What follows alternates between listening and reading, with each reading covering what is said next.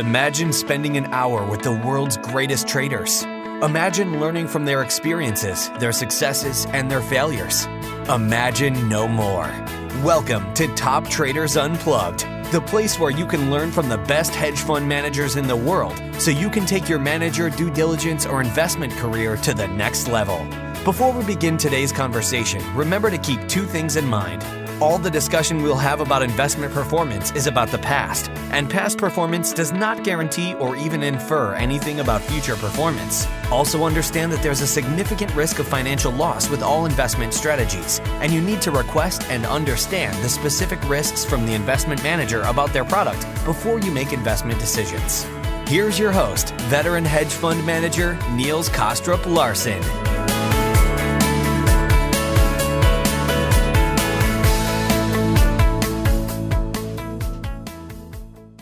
Thanks so much for tuning in today. I really do appreciate it. On today's show, I'm talking to Tushar Chande, co founder and head of research at Rho Asset Management. Tushar is the author of a number of books on the topic of how to design rule based trading systems, as well as having been actively trading these systems for more than 20 years. So he brings real unique insight to what it takes to design and run a successful systematic trading program.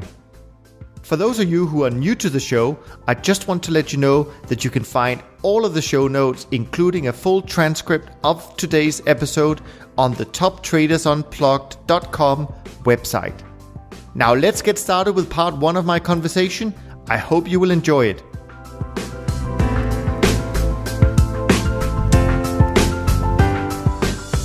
Tushar, good morning. It's uh, Niels. Morning, Niels. How are you?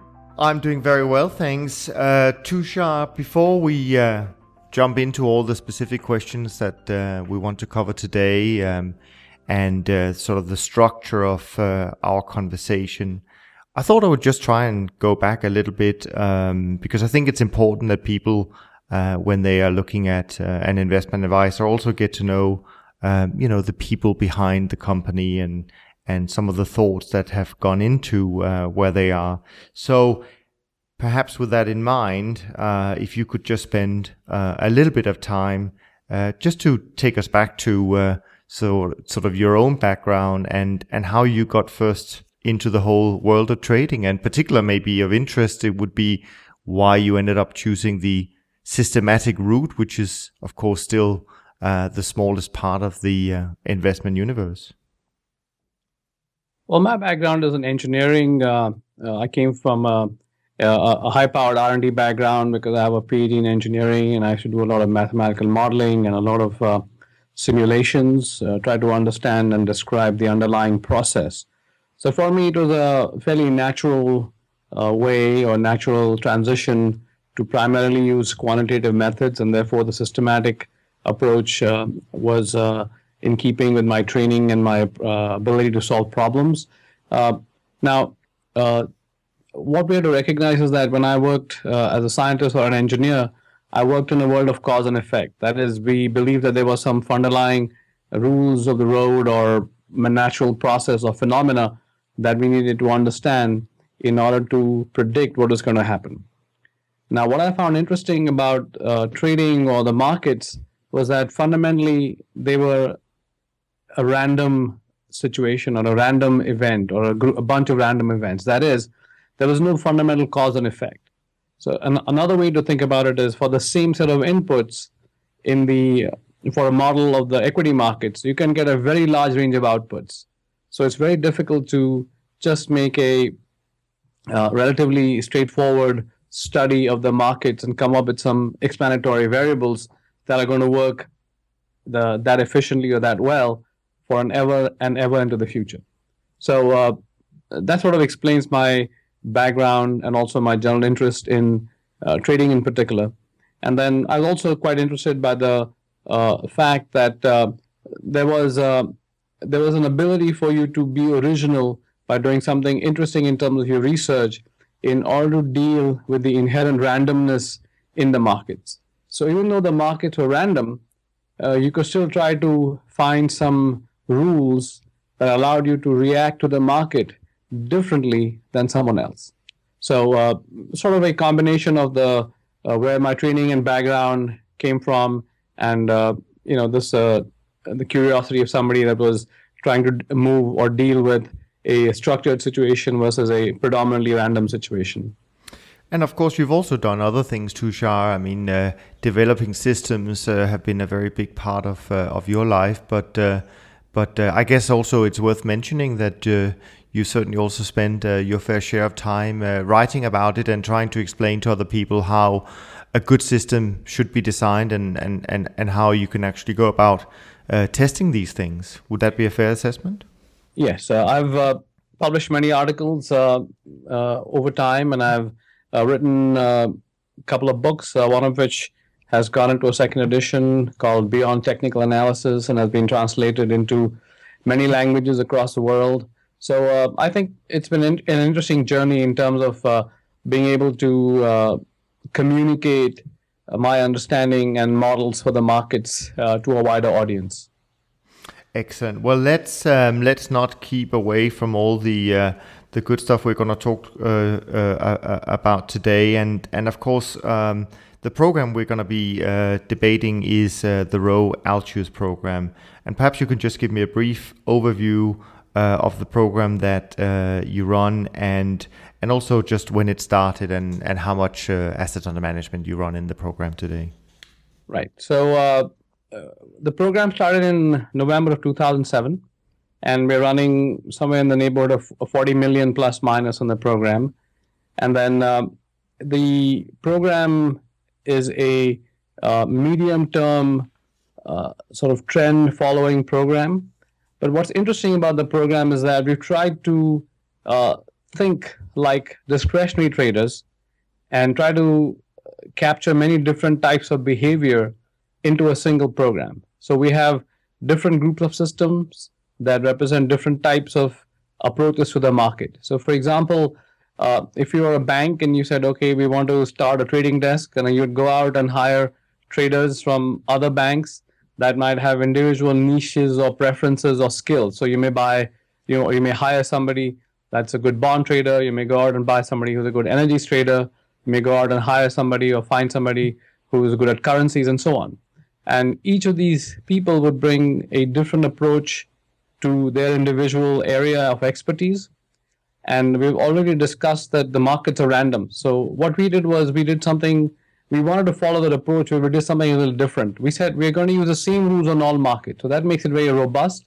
So in a way, we're not uh, using different rules for different markets as each of your specialized traders might.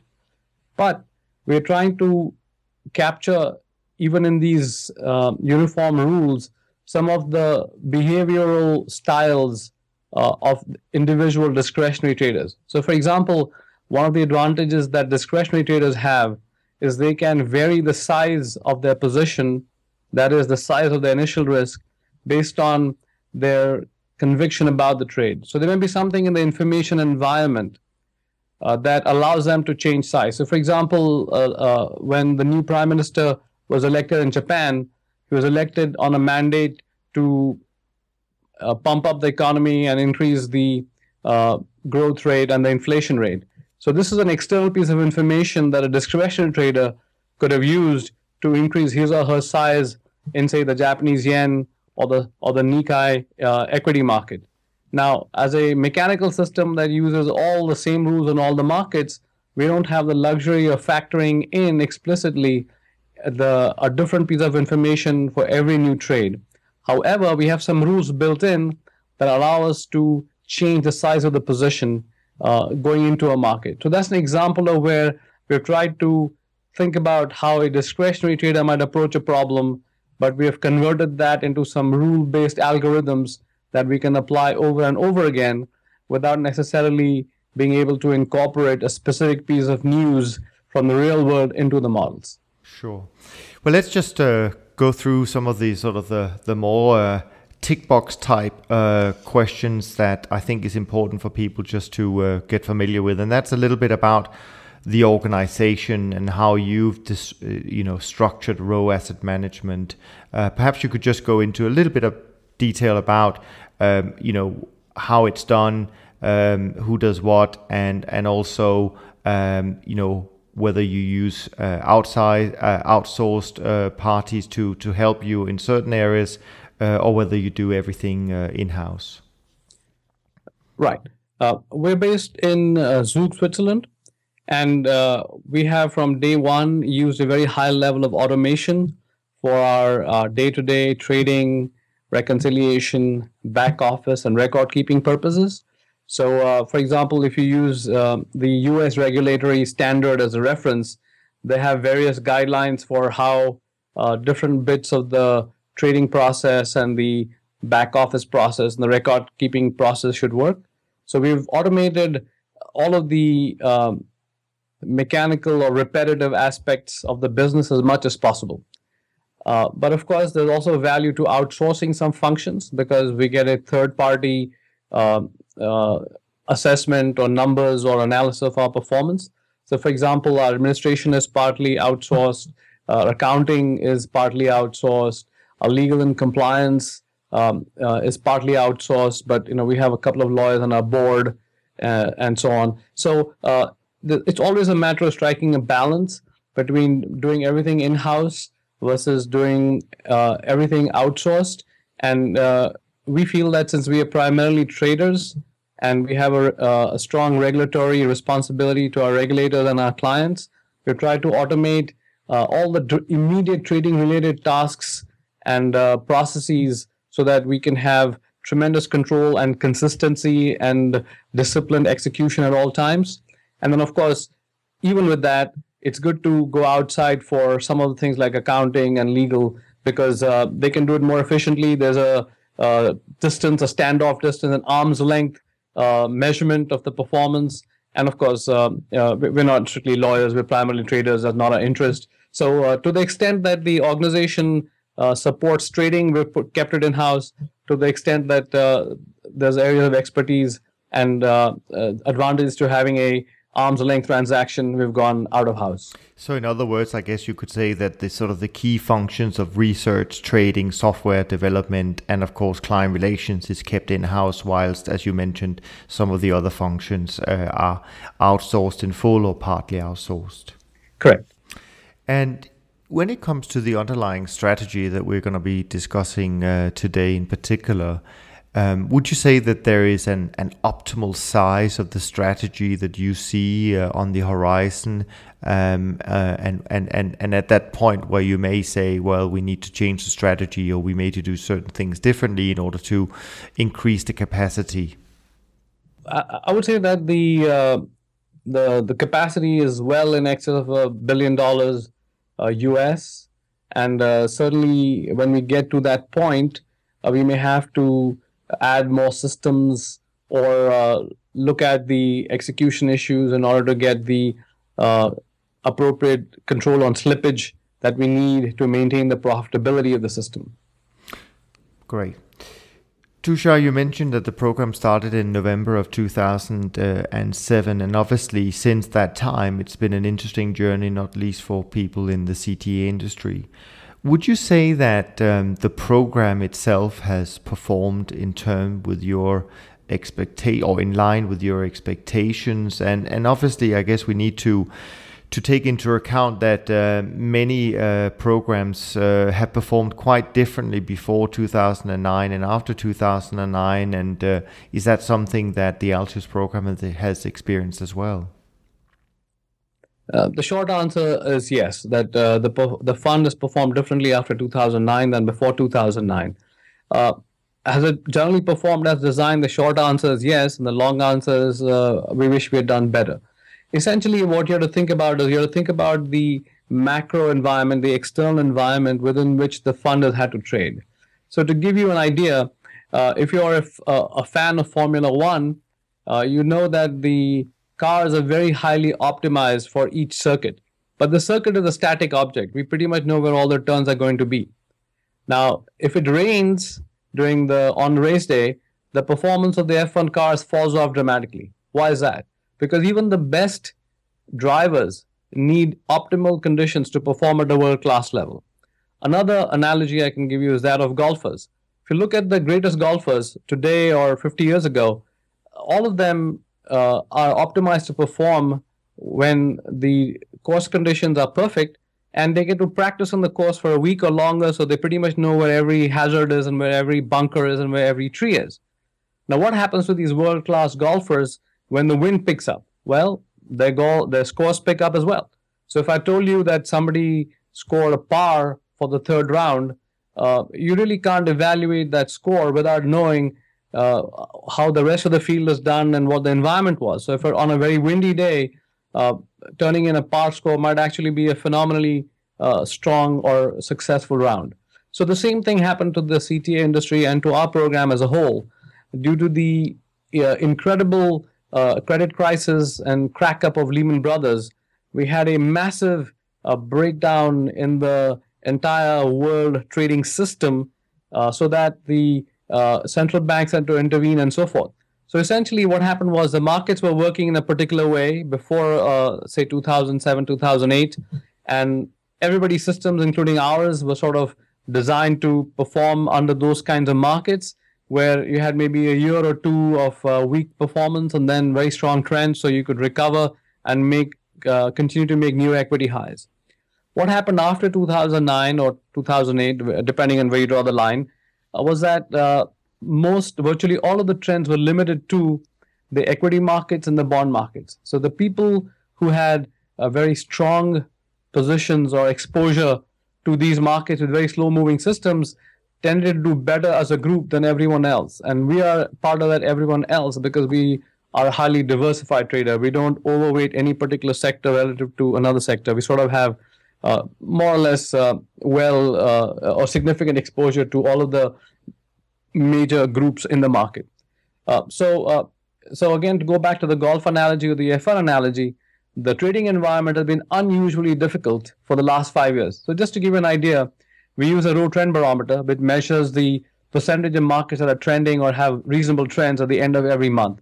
And the break even level is about, say, 42.5 to 45%. So, if the market, so say, if only 20% of the markets are trending, then typically trend followers tend to lose one standard deviation in terms of uh, return for the month. So uh, the more months you have above break even, the more likely you are to be profitable. So if you look at the five-year period ending in 2009 and the five years after that, what you find is that uh, there are many more months below break even after 2009 than there were before 2009. So that just tells you that since inception for our program, more than two thirds of the months have been below break even. So that just gives you an idea of how difficult the environment has been for our program uh, specifically and for uh, diversified trend follows in general. So uh, it's sort of raining uh, during every race, if you will, if you want to use the F1 calendar, or it's been a very windy condition for all the majors, if you want to use a golf analogy. So uh, for us, uh, the, the system has done what it could given the very uniquely difficult trading circumstances. Um, but of course, uh, you know, since we didn't have uh, large exposure to equities and bonds, our performance in absolute terms uh, looks worse when you compare to managers who overweighted in those particular sectors. So overall, I'd say the system has done what it was designed to do.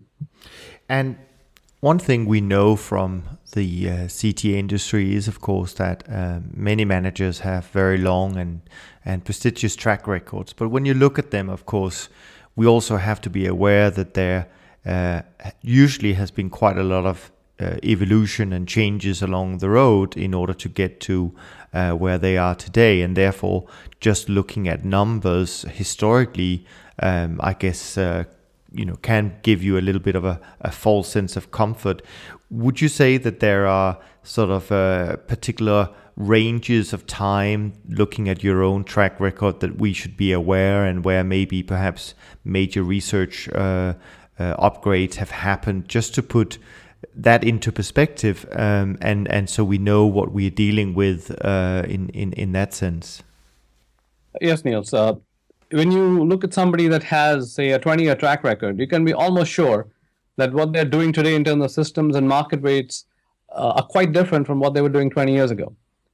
And uh, that's uh, partly driven by the manager's own research. It's partly driven by the customers because they want us to do research all the time and, quote, make things better. And then, of course, there's a natural reaction to what may be happening to AUM, to liquidity, as different markets are uh, become available to trade or become too thin to trade and so on and so forth.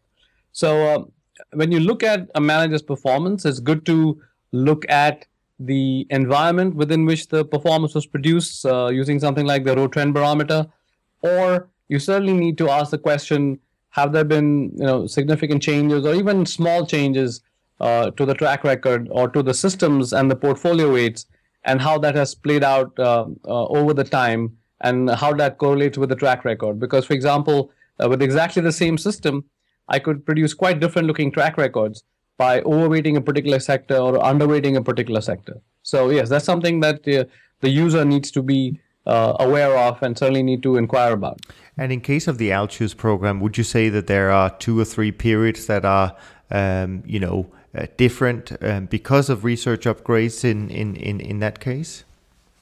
Well, I'd say roughly two periods. We've tried not to make too many changes.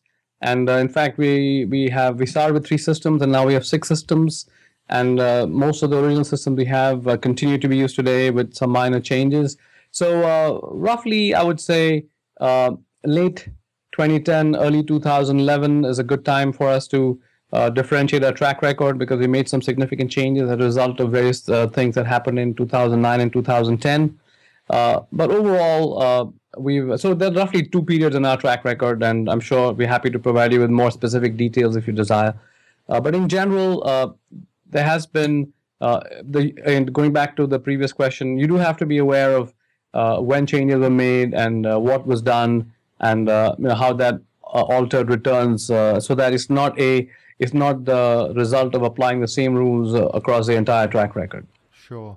And and since we are talking about the the track record, maybe I could just ask you a few sort of uh, very simple questions, just again for the listeners to uh, get a feel for what's inside uh, the the track record. Um, do you uh, are you able to give us a, a, hint of roughly in terms of the average uh, fee structure that you have in your track record day today? What would you say that that is? Uh, it's very close to the industry benchmark of two and twenty. That is uh, 2% of management fee and 20% of incentive fees. Okay. And in terms of the commissions uh, being charged to the trading, um, what would you say they are sort of approximately? I would say about say ten dollars US, uh, you know, approximately. and of course, there's also uh, there's always a downside to the CTA and to any investment. And uh, so, just uh, highlighting those numbers as well in terms of the the maximum drawdown, meaning from a a high to a low. Uh, how has that been uh, in the live trading since November 07? Right. So the rule of thumb that we use is that the worst drawdown is typically four times the monthly standard deviation. So our monthly standard deviation is something on the order of 5.1%. So if you multiply that by, that by four, we should get something on the range of 20%. So our worst drawdown has been 22%, which was back in February of 2010, which is just a little bit higher than this 4x, but it's in the basic range of say, you know, three to five times standard deviation. So we've done a good job of controlling our risk in this extremely difficult environment. Now, what does that mean? If you look at uh, many diversified CTAs. Uh, we've not seen our worst drawdown expand dramatically in the last year or two, uh, meaning we've stayed well within this 22% drawdown, whereas many of our um, cohorts in the business have had significant increases in their worst drawdown by a factor of 50% or 100% even in the last few years. So as a, uh, an optimist, so I like to say that your best month is ahead of you and, and your worst month is also ahead of you. And essentially in 2013, that came true for many programs, uh, but we were able to uh, maintain and stay above our worst drawdown uh, even in the last year or two. Excellent. And just just to sort of finalize these sort of uh, short uh, statistics, um, looking at your average winning month and your average losing month, how how does that compare? One of the things we like to do is we like to use a statistic that we like to call offense defense ratio, which is the ratio of the average winning month divided by the average losing month. Uh, what does that mean? Uh, you're trying to get an idea for how quickly does the system or the program respond when there are good opportunities in the market. So you want to put on positions, increase risk when there are opportunities in the market. So your average winning month will go up. Conversely, uh, when the things are difficult, when there are no trends, you want to shrink the number of positions or reduce your risk in the market so that the average losing month will go down. So naturally, the better you are at responding to opportunity or shrinking during adversity, then this ratio will be more than one and will be relatively large uh, compared to some people who are not as sensitive to responding to what's happening in the market. So, for example, for us, the average winning month is 4.65%, the average losing month is 3.42%. So, to give us an offense defense ratio of 1.36 in very, very difficult market conditions. And that's significantly better than uh, many of the other programs, uh, especially when you compare diversified traders to diversified traders. Uh, some of them are at one or a little bit less than one. Um, and it's not that their systems are not very good. It just means that the trading conditions have been very difficult. But even in these difficult trading conditions, you can see that our systems have been able to respond aggressively when conditions are favorable and shrink or reduce our risk quickly when conditions are not. And then finally, I guess a number that's also somewhat relevant, and that is, of course, uh, the percentage of, of winning month. Uh, even though I know the period has been probably a period where the general CTA index have been uh, also suffering from a lack of winning months. But uh, do you happen to know how how the Altius program have done? Yes, our percentage of winning months is uh, approximately forty seven percent. So it's uh, a little bit lower than we would like, but uh, you know the markets have been tough, and uh, you know that's the way it shook out. Absolutely. So let's talk a little bit about the uh, trading program itself, and perhaps you, I know you mentioned the structure of it briefly at the beginning, but perhaps you could just, in your own words, talk a little bit about um, the the overall structure, the number of markets and sectors you trade, and also give an ins- insight to uh, the instruments that you've chosen uh, for the Altius program. Okay, Niels, uh, going back to where we were, uh, we are trend followers and we are medium-term trend followers, but we want to be a little bit different than the traditional trend follower. Now, uh, in terms of markets and uh, portfolio, we trade 44 markets. We are very diversified in terms of and with roughly similar weights on all the major sectors. So we trade, you know, currencies, bonds, uh, interest rates, equities, which are kind of the primary sector that everybody does. We also trade a lot of commodities. So our commodity weights is uh, markets are roughly more than half of the markets we trade are commodity markets. So we have a bit of a commodities orientation uh, versus a orientation towards finance or financials compared to some of the larger managers. Now, having given you a sense for what we trade, uh, sort of a diversified portfolio, the number of markets, uh, about 44 covering all the major sectors uh, on the major futures exchanges. Uh, let's talk a little bit about what are you trying to do and why are you doing what you do.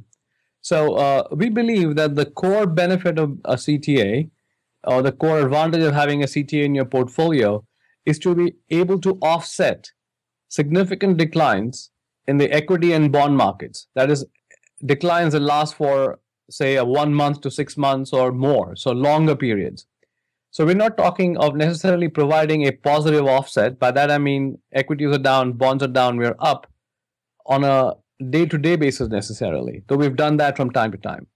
Uh, but we're really talking of say one month and longer periods when there are sustained declines in the equity markets, sustained declines in the bond markets, and then you want something in your portfolio that's going to offset that with positive returns. And historically, that has been the role of CTAs. And we've tried to make sure that our systems are designed to deliver on that promise that CTAs um, were designed to provide. So we're sort of portfolio insurance. So if you're a large manager or a large investor or a you know a small investor, and you have uh, some investments in equities like a long only strategy like a, an ETF or a mutual fund, uh, or you actually directly own stocks, and then you also have a portfolio of bonds, we directly own bonds or a bond fund, then you want something that's going to give you an offset if there are going to be prolonged declines in these markets. So that's where CTAs come in. So roughly speaking, we have three groups of systems. Uh, groups one and two are primarily trend following. That is, they buy strength and sell weakness. Uh, they don't move too rapidly because you ha- you have to allow the market some wiggle room. Uh, but we've done something interesting in terms of how we are, how much initial risk we are putting in, how we design our entries, how we design our exits, to allow us to differentiate ourselves and give a little different performance profile than other trend followers in the business or other momentum traders in the business. So those are groups one and two. And group three, as we've discussed, is primarily our counterweight to groups one and two. That is, that allows us to reinforce this offset function that CTAs are meant to deliver. So that's sort of a quick overview of uh, why we do what we do. So uh, we do what we do so that we can diversify our portfolio of stocks and bonds. Uh, we've diversified uh, by trading in a lot of markets. We have robust systems by using the same rules on all markets. But uh, we've uh, uh, we have uh, different philosophies that can be grouped together into three groups of systems that allow us to react. And we've already shown you that our offense defense ratio is more than one. So that tells you that our systems have proven themselves, proven this ability to take advantage of opportunities and expand positions and then shrink them just as quickly when the trends uh, are not there. And of course, we're not trying to uh, to uh, extract any of the secret sauce, but I think it might be useful. You mentioned you have uh, six different models working inside the Altius program, but I I do think it would be useful to try and and maybe talk through. Um, you know, uh, maybe not all of them, but some of the key models um, what kind of indicators uh, is involved? Um, you know, does volatility play a, a, a, role? And and just to give a little bit more insight as to how you've designed the uh, individual models in order to achieve this overall uh, goal that you uh, just mentioned. So let's talk about our Group One systems, which are primarily uh, trend following long short systems. So there are a variety of ways you can do this. You can do it using moving averages. You can do it using breakout style systems. Uh, you can use it um, using some sort of uh, fundamental model uh, or a, uh, a, predictive model from analytic uh, from fundamental data. You can do it using um, the term structure of interest rates, or you can do it by looking at the the structure of the various contracts and you know the forward contracts versus the current contracts and so on and so on. So there are many different ways of looking at the market. But fundamentally, you have to decide: um, uh, do you want to be long or do you want to be short? That is, do you think prices are going to go up, so you want to be long, or do you think prices are going to go down, and therefore you want to be short? And then you have to decide uh, how much to risk. Should I should you risk one percent, two percent, whatever, five percent, or whatever the magic number is, maybe 0.3 percent for you. Uh, so you set some initial risk, and then you have to decide uh, what happens if you're wrong? So, uh, say you put on the position and the market does something else. So when do you get out? And then you also have to decide what happens if things go your way. You know, uh, the you, you think you're going to go short, and the market obliges and goes short, uh, moves lower very rapidly or very nicely. Conversely, you think it's going to go higher, and the market uh, responds by going much higher. So you also have to decide when you get out when you have a profitable trade. So all, all these complex decisions, they all interact with each other. And uh, one of the challenges and one of the temptations in the business is that you could say that uh, that uh, many uh, it's very easy to think in terms of having market specific models. So as we talked about, you could go to a bank and hire a, a bond trader. So the bond trader may have a lot of market specific information and may be good at trading information flow. But if you don't have information flow, then how do you design a market specific system? So uh, one of the choices we could make upfront was to have a series of market-specific systems or uh, have robust systems. So we've chosen to use the same rules in all markets, so which means that we don't have any market-specific systems. So which means that we don't have a system that only trades bonds or nothing else. Now, uh, there's some uh, important reasons to do it this way, uh, but that just gives you a sense for our philosophy in terms of what we're trying to do and how we're going about doing it. And you mentioned the choice between, say, moving averages and, and other types of uh, um, trend following um, indicators. Which one did you choose, and, and is there a reason why uh, that you chose one over the other? Uh, we've uh, mostly gone with uh, breakout style systems as opposed to a moving average crossover type systems. Uh, to some extent it's a, a matter of individual preference but our uh, but we had two reasons to do it the first reason is that when the markets are trading in a narrow trading range that is uh, they're just sort of going up and down up and down in a relatively narrow range uh, in that situation a moving average system gives you a lot of unprofitable signals so one way to avoid trading during a consolidation or a narrow uh, price range is to use breakout style systems. So that is one philosophical reason to avoid trading in a narrow trading range. The uh, other reason was that uh, you can be more creative in terms of defining whether you should get in or not. So uh, uh one of the one of the philosophical questions you can ask is should you focus a lot of your energies in designing good entries or good exits or so on and we've spent a lot of time trying to design good entries that is Um, if you look at the typical uh, trading system, a trend following trading system, it may only have 30 to 35% profitable trades. And we wanted to increase the percentage of winning trades. So that was why we went with uh, our breakout style strategy that we can combine with uh, a small number of conditions, maybe one or two or three, to improve the percentage of winning trades. So for most of our systems, uh, if you look at a long-term test, the percentage of winning trades is closer to 45 to 50 percent in that range rather than say 25 to 35 percent. So uh, one of the key design features uh, of our program is even though we use the same rules on all uh, same rules on all markets, uh, we've still been able to structure our rules so that across a very broad set of very divergent, very different markets uh, over a very long period of time, we tend to get a higher proportion of winning trades compared to the typical trend following systems that you could easily find in the literature. And and is this choice of of uh, using um, sort of price channels rather than moving averages is that also a little bit of a consequence as to how you want to manage your risk and the use of uh, stops or not use of stops? Yes. Uh, the if you have uh, a moving average system, you typically tend to be always long or always short. So you have a large number of positions. So which means that uh, you have to somehow deal with equity curve with an equity curve that is full of markets that are not maybe going anywhere.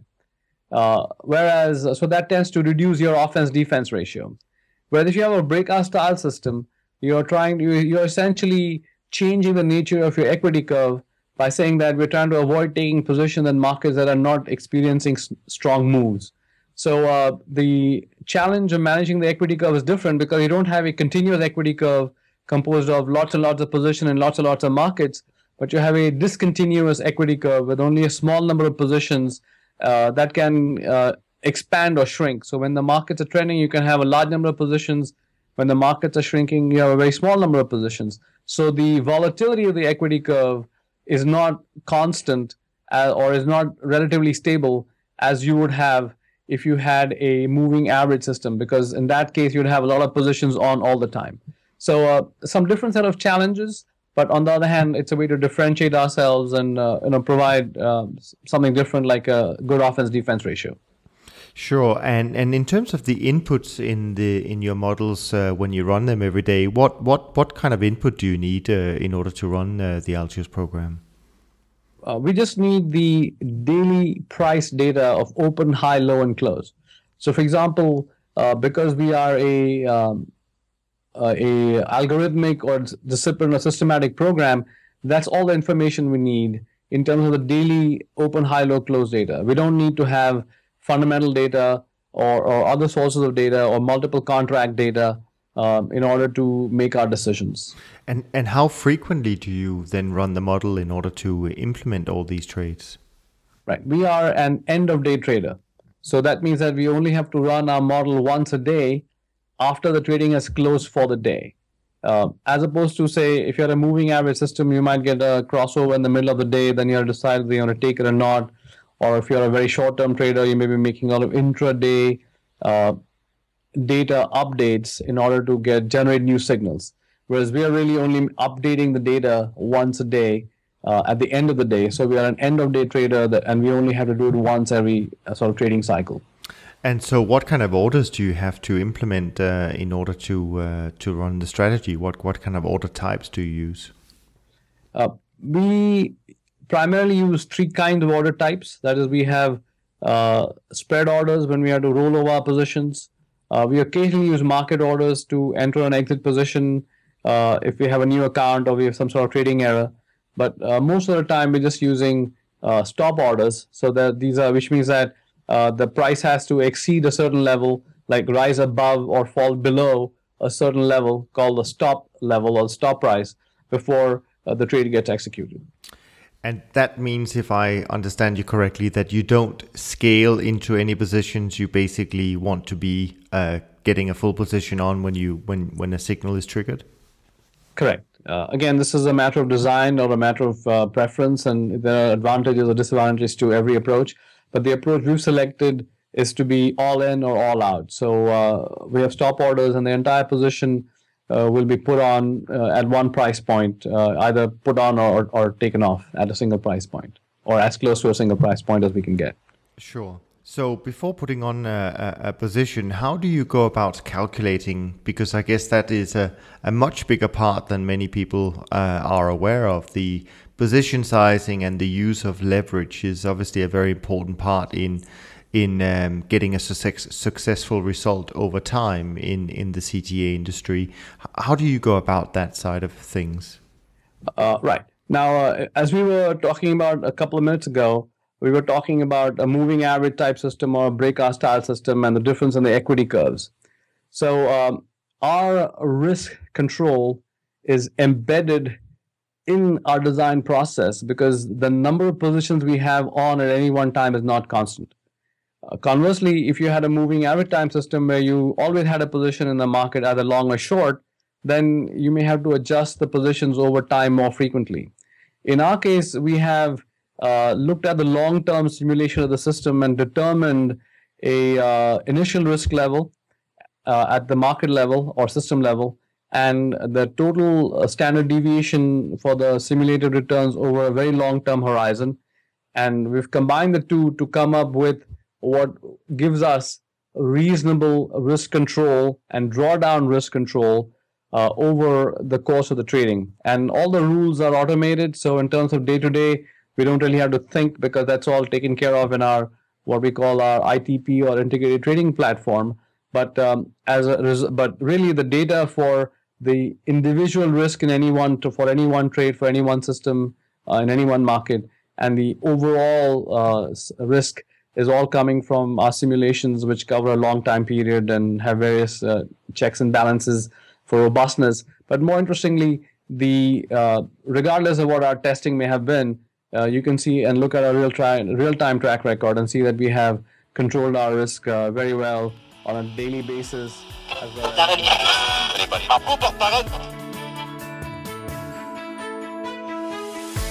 Thanks for listening to Top Traders Unplugged.